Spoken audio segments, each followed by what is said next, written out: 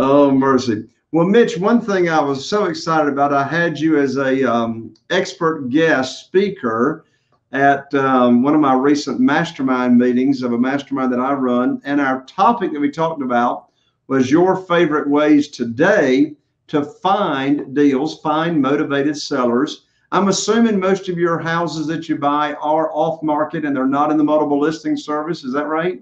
Well, they couldn't be because right now the market's so hot that if you put if you list something, if you have time and you can list something and you can wait for 60 days for a closing, you're getting top dollar or multiple offers above the asking price. I mean, I just talked to someone the other day, 30,000 over listing price on a, you know, $305,000 house. I mean, I, have heard stories of people getting an extra 70 or 100 grand. Haven't really seen that myself, but I know it's out there.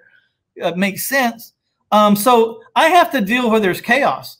We have to deal uh, where there is no time, uh, where people, uh, you know, it's either now or never. It's today or, or they're going to get nothing, you know, or there's some circumstances or something brewing or something happening. So we just live in the in the chaos. Wherever there's chaos, there's opportunity, and we live where there's chaos.